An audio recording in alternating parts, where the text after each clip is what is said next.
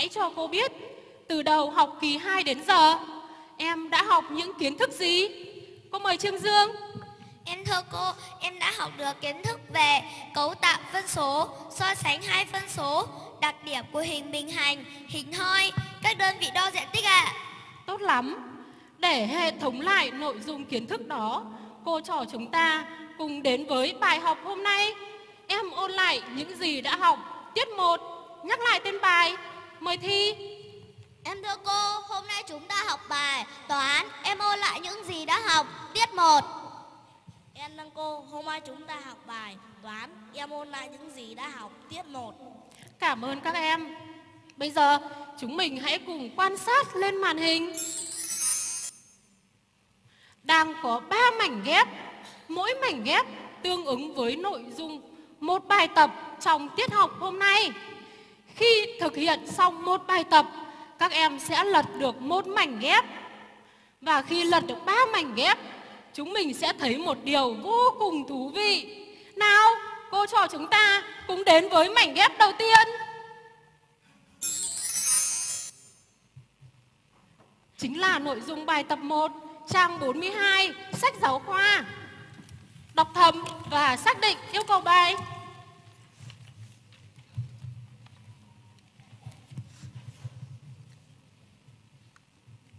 Nêu yêu cầu. Cô mời Nguyễn Dương. Em thưa cô, bài 1 yêu cầu nói cho bạn nghe những điều em đã học được trong chủ đề ạ. Đúng rồi, cả lớp hãy quan sát lên màn hình. Cho cô biết tranh vẽ gì. Xin mời Hoa. Em thưa cô, tranh vẽ các bạn đang thảo luận trong giờ học toán ạ. À đúng rồi. Vậy các bạn đang thảo luận với nhau về nội dung gì? Xin mời nhóm của Linh. Em thưa cô, các bạn đang thảo luận với nhau về nội dung so sánh hai phân số ạ. Em thưa cô, các bạn đang trao đổi về phân số, tử số, mẫu số của phân số ạ. Em thưa cô, các bạn đang trao đổi về hình bình hành, hình thoi, mét vuông, decimet vuông, mm vuông ạ. Cô đồng ý. Ở tiết học trước, cô đã nhắc các em về ôn lại nội dung kiến thức đã học trong chủ đề này và cô đã phân công nhiệm vụ cho từng nhóm chuẩn bị nội dung báo cáo. Nào, xin mời các nhóm trưởng hãy nhắc lại nhiệm vụ của nhóm mình. Em thưa cô, nhiệm vụ của nhóm em là báo cáo về cấu tạo của phân số ạ. Em thưa cô, nhiệm vụ của nhóm em là báo cáo về cách so sánh hai phân số ạ. Em thưa cô, nhiệm vụ của nhóm em là báo cáo đặc điểm của hình bình hành, hình thoi ạ. Em thưa cô, nhiệm vụ của nhóm em là về các đơn vị đo diện tích ạ. Cô nhất trí. Bây giờ các nhóm có 2 phút để thảo luận hoàn thiện nội dung báo cáo. 2 phút bắt đầu.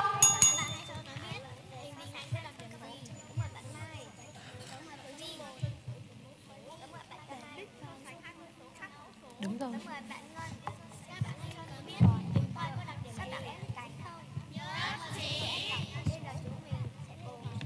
Tốt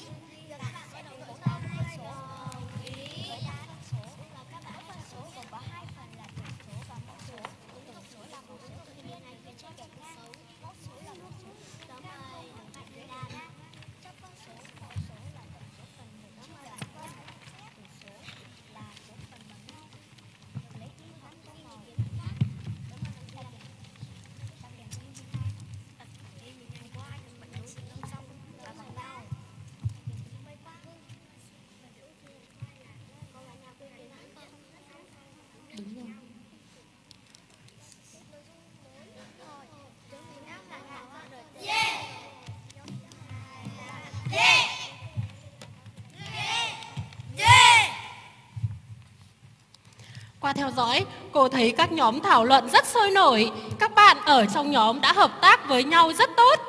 Xin mời phần trình bày của nhóm 1.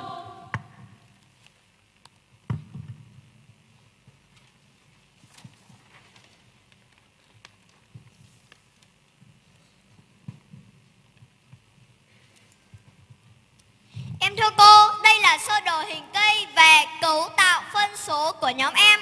Mỗi phân số gồm có hai phần là tử số và mẫu số. Tử số là một số tự nhiên được viết trên gạch ngang. Mẫu số là một số tự nhiên khác không được viết dưới gạch ngang. Trong phân số, mẫu số là tổng số phần được chia đều bằng nhau. Tử số là số phần được lấy đi hoặc tô màu. Cách đọc phân số, khi ta đọc phân số, ta đọc tử số trước và đến phần và đọc mẫu số. Ví dụ, phân số này đọc là 2 phần 5. Cách viết phân số, khi ta viết phân số, ta viết tử số trước. Viết gạch ngang và viết mẫu số. Ví dụ 9 phần 8 Viết là em viết tử số 9 Gạch ngang viết mẫu số 8 Tớ mời các bạn cho ý kiến. Tớ mời bạn Mai. Tôi thấy nhóm bạn đã trình bày đầy đủ nội dung kiến thức. Tôi nhất trí với nhóm bạn. Tôi đánh cả lớp tuyên dương nhóm bạn. Còn bạn nào có ý kiến khác không? Em mời cô ạ Cô cảm ơn phần trình bày của nhóm 1 và cô hoàn toàn nhất trí với phần trình bày của nhóm em. Xin mời nhóm 2 nào.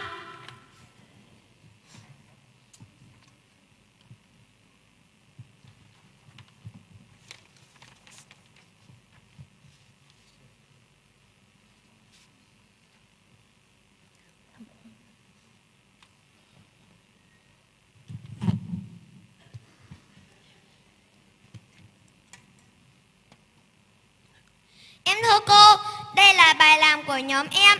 Chúng em đã tạo sơ đồ tư duy hình đám mây để tổng hợp lại các kiến thức về so sánh hai phân số.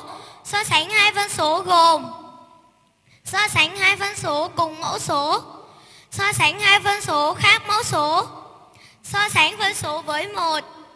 Khi ta so sánh hai phân số cùng mẫu số, ta chỉ việc so sánh tử số. Phân số nào có tử số bé hơn thì phân số đó bé hơn. Phân số nào có tử số lớn hơn thì phân số đó lớn hơn. Nếu tử số bằng nhau thì hai phân số đó bằng nhau. So sánh hai phân số khác mẫu số, ta quy đồng mẫu số hai phân số rồi so sánh như so sánh hai phân số cùng mẫu số. So sánh phân số với một, nếu tử số bé hơn mẫu số thì phân số đó bé hơn một. Nếu tử số lớn hơn mẫu số thì phân số đó lớn hơn một. Nếu tử số bằng mẫu số thì phân số đó bằng một. Tớ đã trình bày xong, mời các bạn cho ý kiến. Tớ mời bạn Linh. Tớ đồng ý với phần trình bày của nhóm bạn Tuy nhiên còn thiếu phần so sánh phân số cùng tử số Tớ bổ sung cho nhóm bạn Vậy bạn hãy cho tớ biết để so sánh hai phân số cùng tử số bạn làm thế nào? Để so sánh hai phân số cùng tử số Phân số nào có mẫu số bé hơn thì phân số đó lớn hơn Phân số nào có mẫu số lớn hơn thì phân số đó lớn hơn Nào con bình tĩnh nào. Con trả lời lại đi. Để so sánh hai phân số cùng tử số Phân số nào có mẫu số bé hơn thì phân số đó lớn hơn Phân số nào có mẫu số lớn hơn thì phân số đó bé hơn Tớ cảm ơn bạn, nhóm tớ sẽ tiếp thu ý kiến của bạn. Không có bạn nào có ý kiến, em mời cô nhận xét ạ. Cô cảm ơn phần trình bày của nhóm 2 và cô hoàn toàn nhất trí với câu hỏi chia sẻ của các nhóm bên dưới. Nhóm 2 hãy chú ý bổ sung vào sơ đồ của nhóm mình nhé. Các em ạ, các bạn nhóm 3 đã vận dụng tốt kiến thức môn tin học để thực hiện nhiệm vụ của nhóm mình và đã gửi cho cô vào đầu giờ. Xin mời phần trình bày của nhóm 3 nào.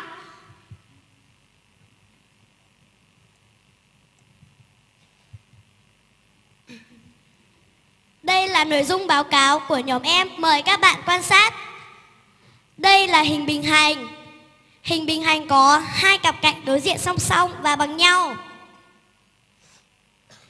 Đây là hình thoi. Hình thoi có hai cặp cạnh đối diện song song và có bốn cạnh bằng nhau. Một số ứng dụng hình bình hành, hình thoi trong cuộc sống mà nhóm tớ đã tìm được là khung tay vịn cầu thang, vạch đỗ xe, làm họa tiết trang trí, thiết kế một số đồ vật như đĩa, khung cửa, móc treo quần áo. Xin ý kiến chia sẻ của các bạn. Em có biết vì sao các bạn lại vỗ tay không? Em thưa cô vì nhóm em đã trình bày đúng và đầy đủ ạ. À, rất chính xác. Cô chúc mừng nhóm 3 đã hoàn thành xuất sắc nhiệm vụ của mình. Cô có một câu hỏi nhỏ muốn hỏi các nhóm ở bên dưới và nhóm 3. Em hãy nêu sự khác nhau và giống nhau giữa hình bình hành và hình thoi. Em đỡ cô giống nhau giữa hình bình hành và hình thoi là đều có hai cặp cạnh đối diện song song. Còn khác nhau là hình bình hành có hai cặp cạnh đối diện bằng nhau, còn hình thoi có bốn cạnh bằng nhau ạ. À. Cả lớp mình có đồng ý với câu trả lời của bạn không? Vậy chúng mình còn ngại gì cũng thưởng cho bạn một tràng vỗ tay. Cô cảm ơn nhóm 3. Cô mời phần trình bày của nhóm 4 nào.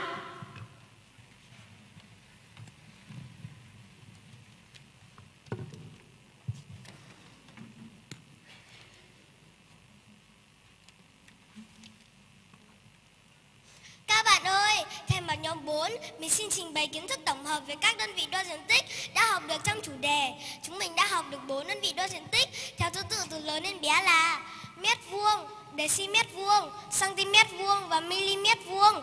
Mỗi đơn vị và mối quan hệ của chúng là mỗi đơn vị đo diện tích đều gấp 100 lần đơn vị bé hơn liền nó. 1 mét vuông bằng 100 decimet vuông bằng 10.000 cm vuông bằng 1 triệu mm vuông. 1 decimet vuông bằng 100 cm vuông bằng 10.000 mm vuông. 1 cm vuông bằng 100 mm vuông. Xin ý kiến của các bạn. Tôi mời bạn Vân. Tớ thấy nhóm bạn làm đúng rồi. Tớ đề nghị cả lớp khen nhóm bạn. Tôi cảm ơn bạn. Xin ý kiến khác. Không có, cảm ơn các bạn. Em mời cô ạ. Cô cảm ơn phần trình bày của nhóm 4 và cô thấy nhóm 4 có bảng đơn vị đo diện tích rất đúng và dễ hiểu. Các em ạ, qua phần trình bày của các nhóm thì cô thấy các em đã có tinh thần chuẩn bị bài rất tốt, hoàn thành dự án cô giao. Cô sẽ thưởng cho mỗi nhóm một bông hoa. Xin chúc mừng cả lớp.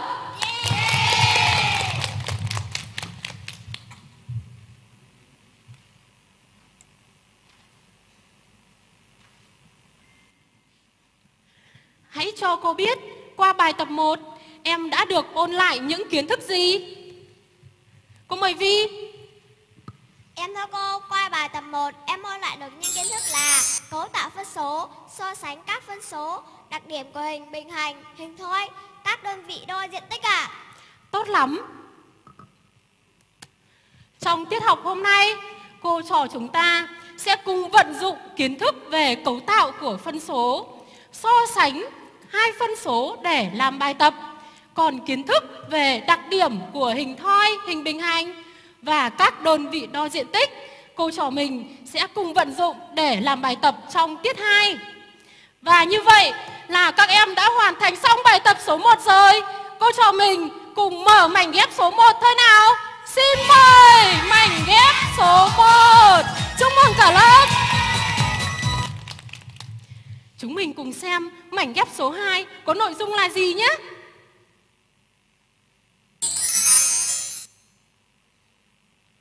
Cho cô biết mảnh ghép này có nội dung là gì? Cô mời Tiến Đạt.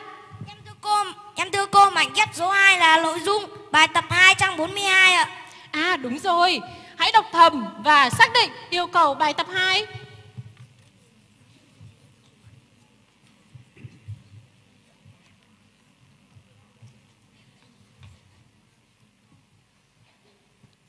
Nêu yêu cầu phần A, mời Khánh. Em nâng cô phần A yêu cầu tìm phân số, chỉ số phần tô màu trong mỗi hình vẽ sau. Cảm ơn em. Với yêu cầu phần A, cả lớp hãy quan sát hình và thực hiện vào bảng con.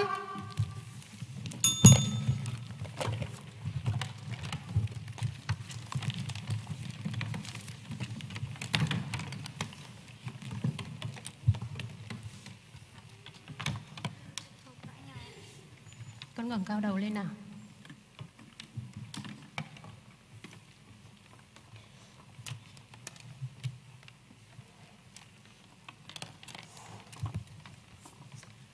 Bảo anh cho cô biết vì sao em viết được phân số 3 phần tư ở hình này.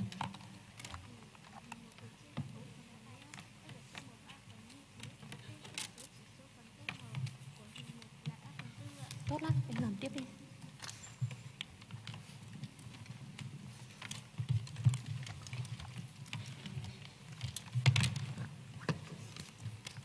Mai cho cô biết vì sao ở hình tròn em viết được phân số tô màu là 3 phần 6.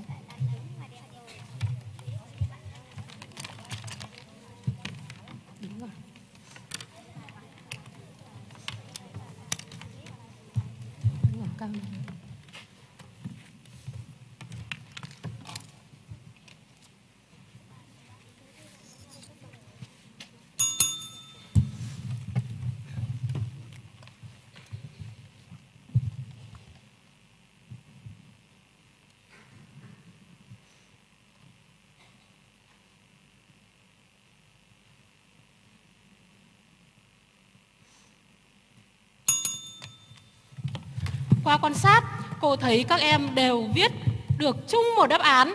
Hãy đọc cho cô các phân số mà em vừa viết được. Cô mời Mai. Thưa cô, em viết được các phân số Thưa cô, ở hình 1 em viết được phân số 3 phần 4 Ở hình 2 em viết được phân số 5 phần 8 Và ở hình 3 em viết được phân số 3 phần 6 ạ Cảm ơn em. Và đó là các đáp án chính xác. Xin chúc mừng cả lớp. Bây giờ các em hãy cùng quan sát hình 1. Cho cô biết ở hình này vì sao em viết được phân số chỉ số phần tô màu là 3 phần 4. Cô mời Vân nào. Em thưa cô, hình chữ nhật được chia làm 4 phần bằng nhau, đã tô màu 3 phần, nên em viết được phân số 3 phần 4 ạ. Cô cảm ơn em. Cô mời Nguyên nhận xét nào. Em em thưa cô, em thấy bạn đã trả lời đúng rồi ạ. Tớ đề nghị cả lớp khen bạn. Cô cảm ơn các em và đó là câu trả lời đúng. Bây giờ chúng mình hãy cùng quan sát hình số 3 nào. Bạn nào nêu được cách viết phân số chỉ số phần tô màu ở hình này? Cô mời Ngân. Em thưa cô, vì hình tròn được chia thành 6 phần bằng nhau đã tô màu 3 phần nên phân số chỉ số phần được tô màu là 3 phần 6 ạ. Cảm ơn em. Cô mời Đạt nhận xét. Em thưa cô, em thấy bạn trả lời đúng rồi ạ. Rất tốt, cô nhất trí với ý kiến của các em. Các em ạ, qua quan sát ở dưới lớp, cô thấy có bạn Bảo Anh đã viết phân số chỉ số phần tô màu của hình 3 là 1 phần 2. Cô mời Bảo Anh hãy chia sẻ cho cô và các bạn cùng nghe nào. Em thưa cô, vì hình tròn được chia làm 6 phần bằng nhau đã được tô màu 3 phần như thế nên số phần tô màu bằng một nửa hình tròn. Do đó em viết được phân số 1 phần 2 ạ. Một câu trả lời rất xuất sắc. Các em ạ, bạn Bảo Anh đã quan sát kỹ hình và viết được phân số 1 phần 2. Đây chính là phân số rút gọn của phân số 3 phần 6 và là phân số tối giản.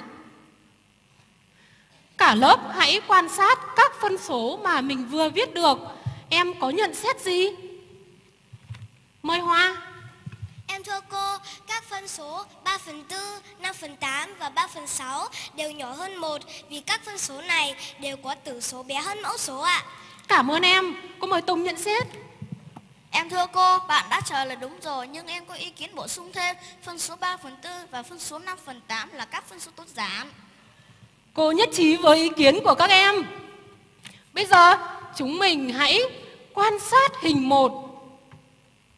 Ngoài phân số 3 phần 4 mà em vừa viết được theo yêu cầu của đề bài, cô đố bạn nào viết được phân số chỉ số phần không tô màu của hình này? Cô mời Trâm. Em thưa cô, phân số chỉ số phần không tô màu của hình 1 là 1 phần 4 ạ. Em hãy giải thích. Vì hình 1 được chia làm 4 phần bằng nhau, không tô màu một phần, nên do đó em viết được phân số 1 phần 4 ạ. Em có tự tin về câu trả lời của mình không? Dạ em có. Rất tốt và đó là một câu trả lời rất chính xác. Nào, chúng mình hãy quan sát kỹ hình 1. Ngoài phân số 1 phần 4 và phân số 3 phần 4 các em vừa tìm được, bạn nào có thể tìm được các phân số khác từ hình này? Cô mời Thi. Em thưa cô, em có viết được phân số 3 phần 1 vì ở hình 1 có 3 phần bằng nhau đã được tô màu và có một phần như thế không được tô màu. Ngoài ra em em còn viết được phân số 1 phần 3 vì Ở hình 1, một phần không được tô màu và ba phần bằng nhau đã được tô màu ạ. Cô cảm ơn Thi. Cô thấy bạn Thi đã có ý hiểu đúng rồi đấy. Phân số 3 phần 1 là phân số chỉ số phần đã tô màu so với số phần chưa tô màu. Kiến thức đó, cô trò mình sẽ cùng tìm hiểu qua các bài tiếp theo nhé. Và tương tự như vậy, với hình 2 và hình 3 các em sẽ tìm các phân số tương tự. Như vậy, cô trò chúng ta đã hoàn thành xong bài tập phần A rồi. Các em hãy phát huy điều đó để thực hiện phần B. Với yêu cầu phần B, các em hãy suy nghĩ, chọn đáp án đúng và thể hiện qua thẻ Flickr.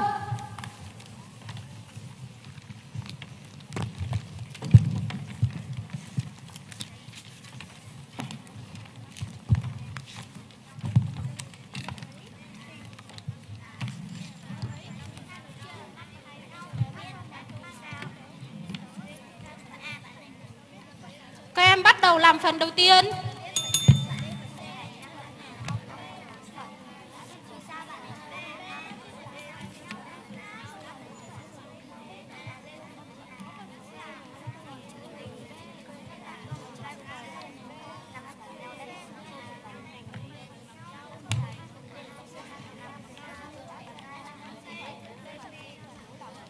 Ở phần A em chọn hình nào?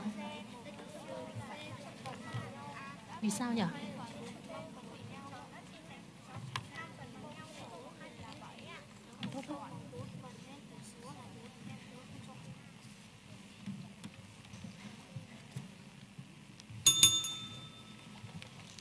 Cho mình cùng kiểm tra đáp án nào.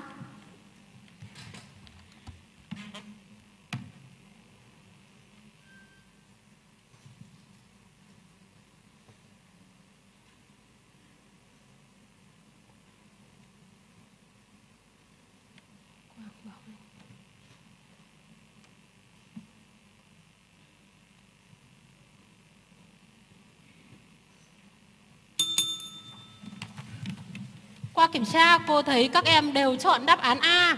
Và chúc mừng cả lớp, đây là đáp án đúng. Hãy cho cô biết vì sao em lại chọn đáp án A Mà không chọn các hình ở đáp án B và đáp án C. Cô mời Ngọc nào?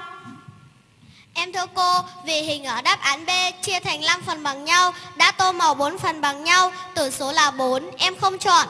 Còn hình ở đáp án C chia thành 7 phần bằng nhau, mẫu số là 7, nên em cũng không chọn. Vì vậy, em chọn đáp án A. Em có tự tin với câu trả lời của mình không? Dạ có ạ. Rất tốt Và bạn Ngọc đã giải thích rất chính xác đấy các, các em ạ Nào, chúng mình hãy cùng tiếp tục thực hiện phần tiếp theo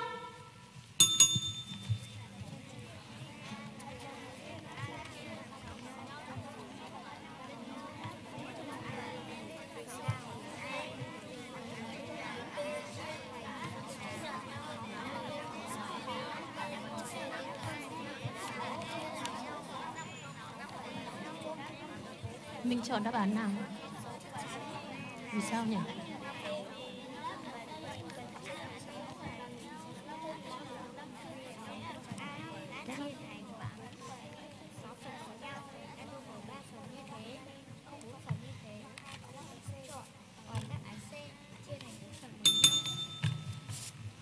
Các bạn cùng kiểm tra đáp án với cô nhé.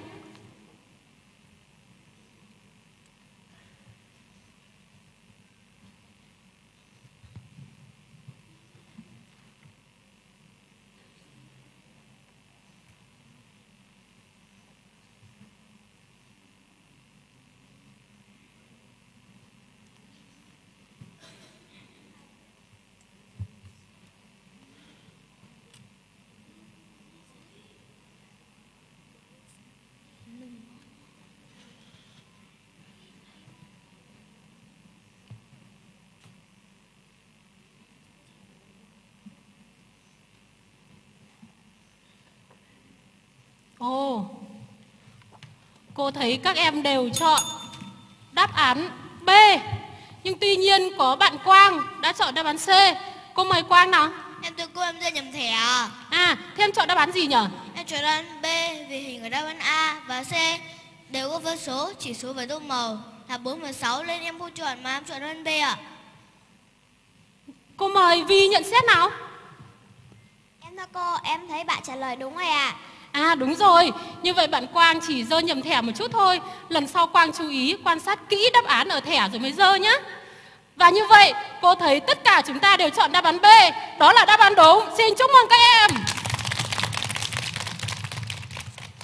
Hãy cho cô biết, để làm tốt bài tập 2, em cần lưu ý gì? Cô mời Linh nào. Em thưa cô, để làm tốt bài tập 2 em cần quan sát kỹ mô hình và dựa vào kiến thức cấu tạo phân số để tìm ra đáp án đúng ạ. Tốt lắm.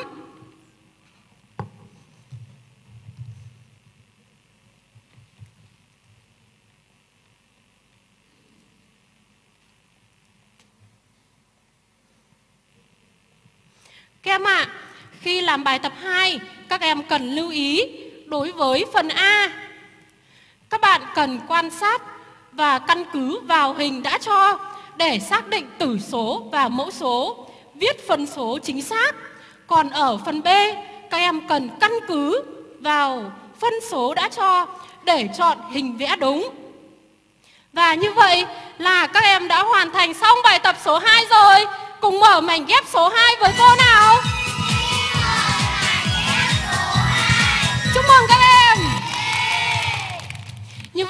Chúng ta chỉ còn một mảnh ghép nữa thôi là các bạn sẽ thấy được điều thú vị ở đằng sau.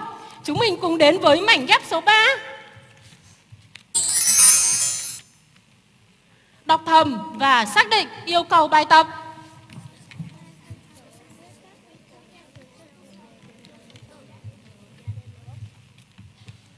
Bài tập này có mấy yêu cầu? Cô mời Trâm Anh. Em thưa cô, bài tập này có hai yêu cầu ạ. À.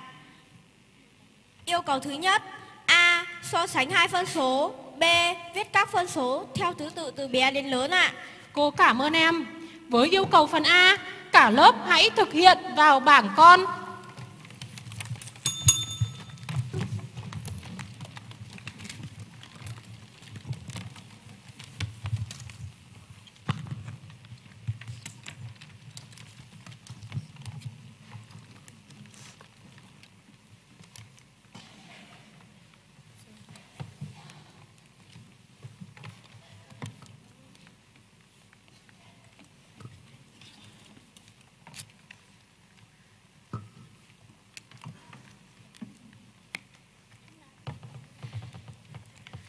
Vi cho cô biết em phân số 13 phần 8 và 8 phần 8 như thế nào nhỉ?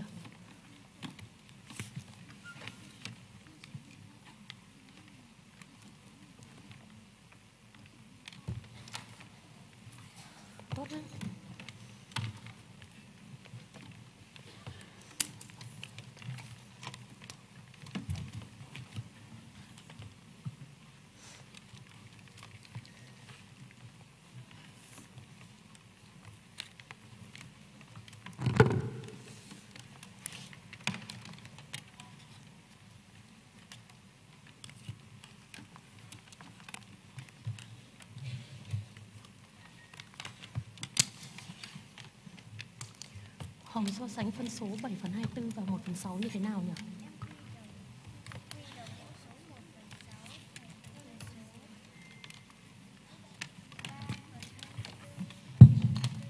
Nào em nói lại nào, em nói lại nào.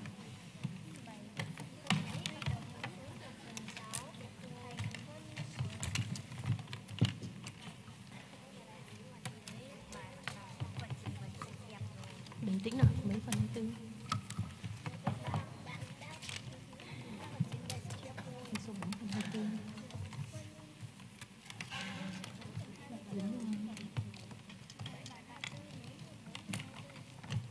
nên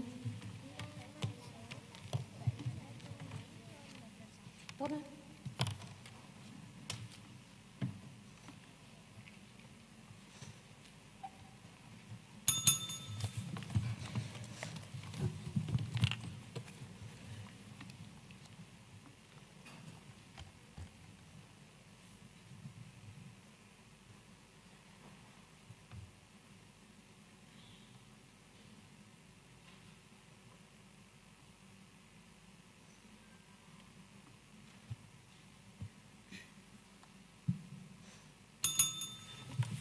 Qua quan sát, cô thấy các em đã làm rất nhanh.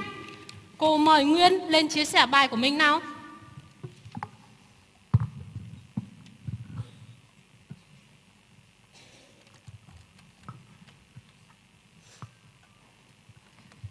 Đây là bài làm của tớ 6 phần 11 nhỏ hơn 8 phần 11 13 phần 8 lớn hơn 8 phần 8 7 phần 24 lớn hơn 1 phần 6 3 phần 2 lớn hơn 5 phần 4 Xin ý kiến chia sẻ của các bạn. Tớ mời bạn Phước Anh. Tôi thấy bạn đã làm đúng và trình bày sạch đẹp rồi. Tôi đề nghị cả lớp khen bạn. Tớ cảm ơn bạn. Tớ mời bạn ngồi xuống. Còn bạn nào có ý kiến khác không? Tớ mời bạn Vi. Bạn hãy nêu cách so sánh phân số 13 phần 8 và phân số 8 phần 8.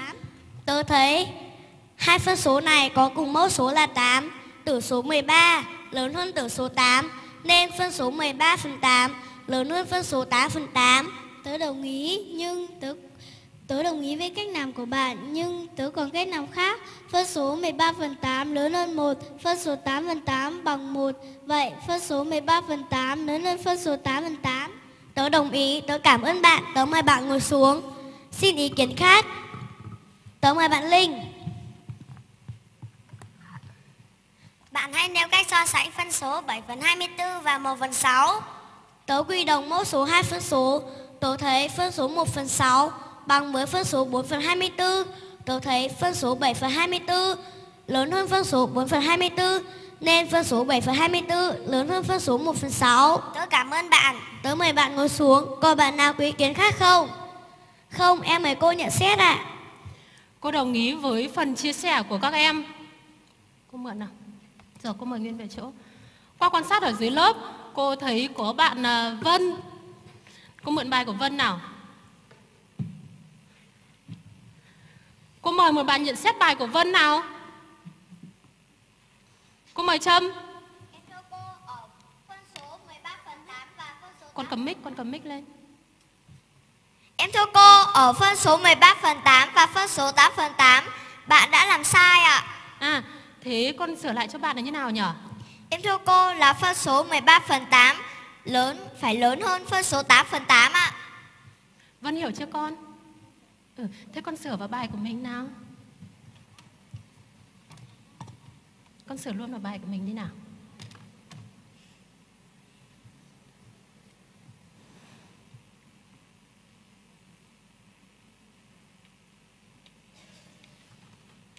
À đúng rồi. Đố bạn nào còn phát hiện được bài của bạn Vân Còn vấn đề gì nữa không nào Cô mời Vi nào Em thưa cô phân số 7 phần 24 lự- bạn viết phân số 7 phần 24 bé hơn phân số 1 phần 6 ạ. À thế phép này phải so sánh như nào nhỉ Em thưa cô phân số 7 phần 24 lớn hơn 1 phân phân số 7 phần 24 bé hơn 1 phân Nào nào con bình tĩnh nào Con bình tĩnh nào. Em cô em sửa lại là 7 phân số 7 phần 24 lớn hơn phân số 1 phần 6. Cô cảm ơn con. Vân có hiểu chỗ này không con? Rồi. Để con sửa lại vào bài của mình nào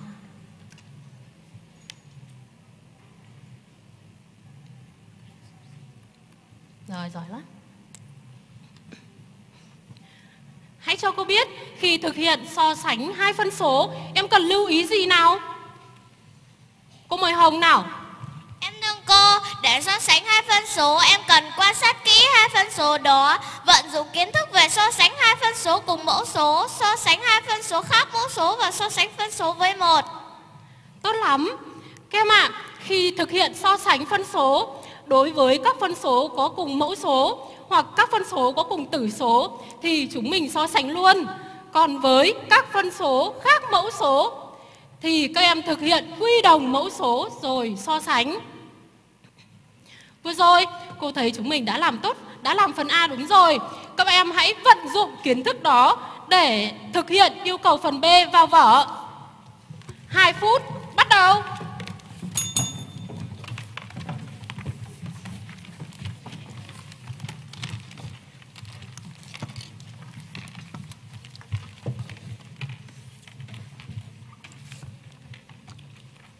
Khi làm bài, chúng mình ngồi đẹp nào.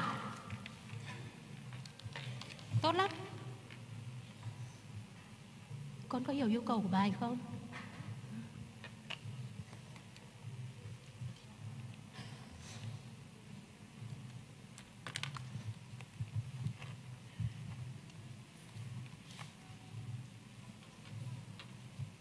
Con ngẩng cao được lên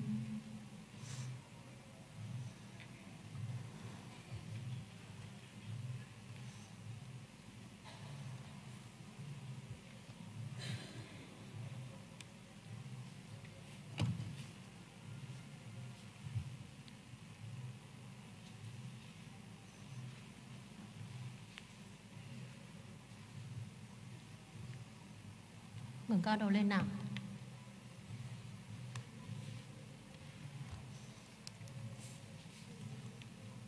Vi so sánh ba phân số này như thế nào?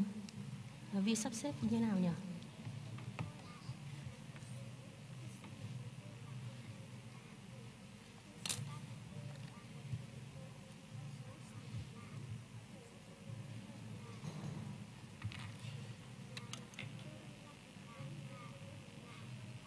Đúng rồi, em làm tiếp đi.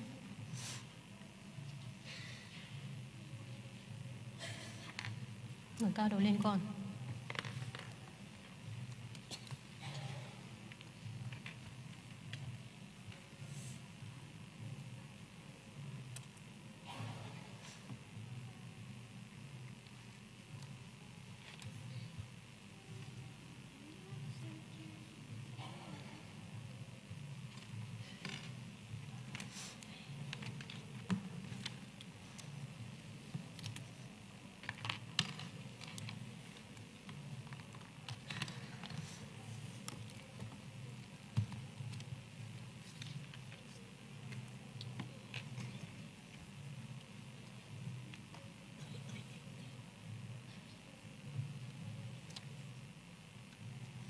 Dương so sánh ba phân số này như thế nào?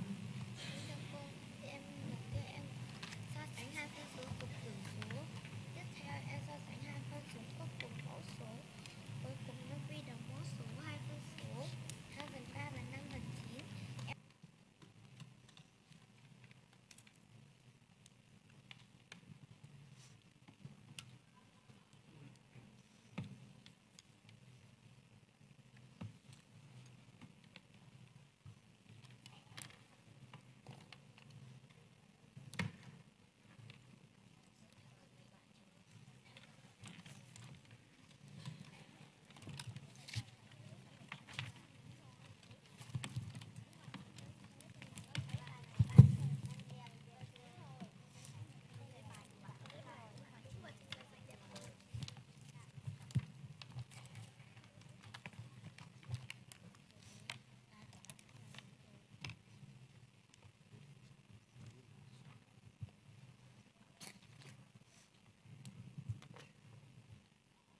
Cho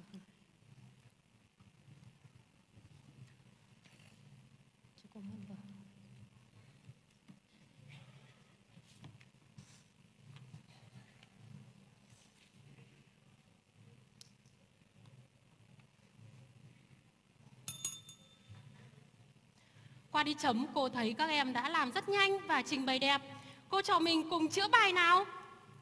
Cô có 6 thẻ phân số tương ứng với phần bài mà các em vừa làm. Cô mời 6 bạn lên đóng vai là 6 phân số này. Sắp xếp theo thứ tự mà đề bài đã yêu cầu. Nhóm 1. Xin mời Khánh, Dương và Vi nào. Nhóm 2. Cô mời Trâm, Minh và Dương nào.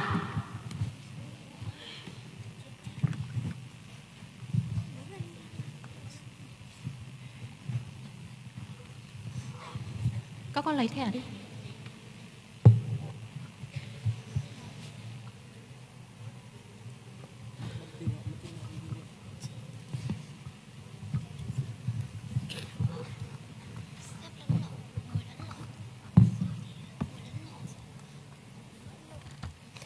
Khi hai nhóm thực hiện sắp xếp, các em ở dưới lớp hãy quan sát và nhận xét nhé. Một phút cho hai nhóm bắt đầu. Ba thấy phân số, phân số tớ thấy, Tớ thấy phân số 1 2 phần 3 là bé nhất nhất tớ sẽ đứng sẽ đứng đầu. cuối. Còn tớ thấy phân số Tớ 3 thấy phần phân số 4 2 nhất phần nên tớ sẽ đứng cuối. Tớ phân số thấy 5 phân phần 9 8 tớ sẽ đứng giữa. số 1 phần 4 nên tớ đứng giữa.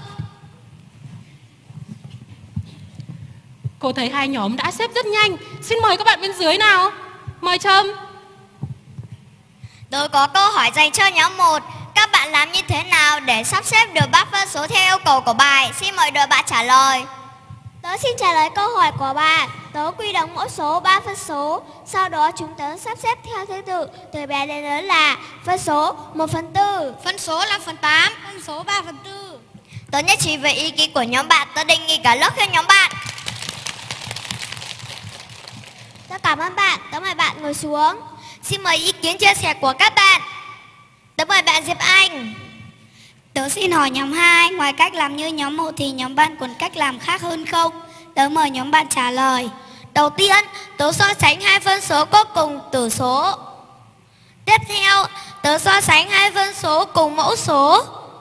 Cuối cùng, tớ quy đồng mẫu số hai phân số 2 phần 3 và 5 phần 9.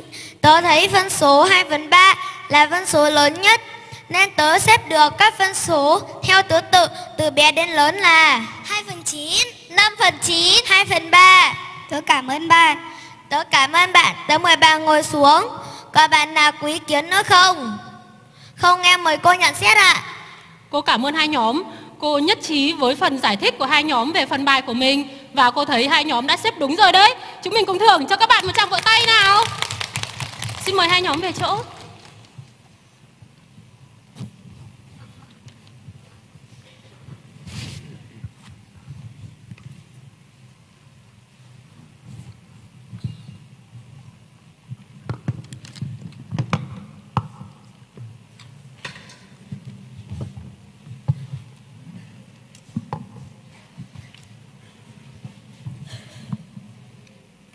Các em hãy quan sát lên màn hình. Qua đi chấm cô thấy các em đã làm nhanh. Cô mời một bạn nhận xét nào. Đây là bài của Trâm. Cô mời Khánh nào. Em thưa cô em thấy bài bạn làm đúng và sạch đẹp rồi ạ. Cô đồng ý.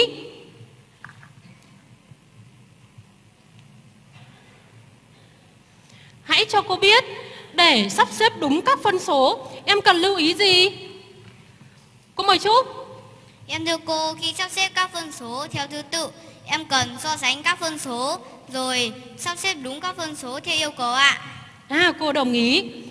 Khi thực hiện sắp xếp các phân số, các em cần vận dụng nhiều cách làm để so sánh phân số với nhau.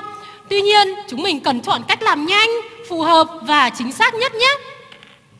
Và như vậy là các em đã hoàn thành xong bài tập số 3 rồi. Chúng mình cũng muốn mở mảnh ghép với bạn số 3 với cô không nào?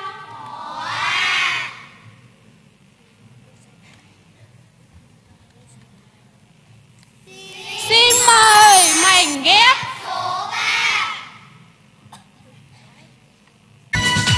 Chúc mừng các em.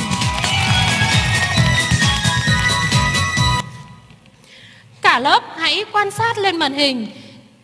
Cô có 3 bức tranh. Bức tranh thứ nhất là kim tự tháp Ai Cập Bức tranh thứ hai các phân số cổ Và cuối cùng là chân dung của một nhà toán học Những bạn nào muốn khám phá điều thú vị Đằng sau bức tranh thứ nhất Ồ, thế còn bức tranh thứ hai thì sao nhỉ? Còn chân dung về nhà toán học thì sao? Ồ, cô thấy tất cả chúng mình đều muốn khám phá điều thú vị đằng sau chân dung của nhà toán học này. Vậy bây giờ các em hãy cùng xem một đoạn phim, sau đó hãy cho cô biết nhà toán học này tên là gì và ông có những thành tựu gì nhé. Các em ạ, đây là nhà toán học Pythago, sinh năm 570 đến 500 trước công nguyên. Ông là nhà toán học lỗi lạc người Hy Lạp. Pythago được mệnh danh là người thầy của các con số, là một thiên tài toán học. Ông đã từng sống và học tập 12 năm tại Ai Cập, nơi cách đây 4.000 năm đã hiểu về phân số và các phép tính về phân số. Tuy nhiên, người Ai Cập cổ đại chỉ thừa nhận các phân số có tử số bằng một. Đây là các phân số đầu tiên trên thế giới. Và như vậy, các phân số có dạng 1 phần n được gọi là phân số Ai Cập. Ngoài ra, ông còn được coi là bộ óc xuất chúng trong lịch sử của nhân loại đấy các em ạ. Hãy cho cô biết sau đoạn phim này em đã hiểu thêm điều gì? Cô mời Vi. Em thưa cô, sau đoạn phim này em đã biết đến nhà toán học Pythagore. Ông là một thiên tài toán học. Ông còn là bậc thầy của các phân số à? À đúng rồi. Các em hãy tìm hiểu thêm thông tin về nhà toán học Pythagore qua việc đọc sách trên thư viện hoặc xem các kênh trên truyền hình, để chúng mình sẽ cùng chia sẻ với nhau vào các tiết học buổi 2. Và như vậy là cô trò mình đã thực hiện xong 3 bài tập của tiết 1 rồi. Những bài tập còn lại chúng ta sẽ cùng thực hiện trong tiết 2. Hãy cho cô biết trong tiết học này em cảm nhận được điều gì? Cô mời Hưng nào. Em thưa cô, em cảm thấy rất vui vì đã hiểu biết thêm về nhà toán học Pythagore ạ. À đúng rồi, vậy còn Dương thì sao? Em thưa cô, em đã học được kiến thức về cấu tạo phân số, so sánh phân số, đặc điểm của hình bình hành, hình thoi, các đơn vị đo diện tích ạ. Tốt lắm. Qua tiết học hôm nay, cô thấy các em học rất sôi nổi, hợp tác với nhau rất tốt. Đặc biệt là các em đã vận dụng chắc chắn kiến thức để làm đúng bài tập. Cô thưởng cả lớp mình một tràng vỗ tay nào Tiết học đến đây là kết thúc. Xin trân trọng cảm ơn các đồng chí lãnh đạo, các thầy cô giáo đã về dự giờ. Cảm ơn các em học sinh.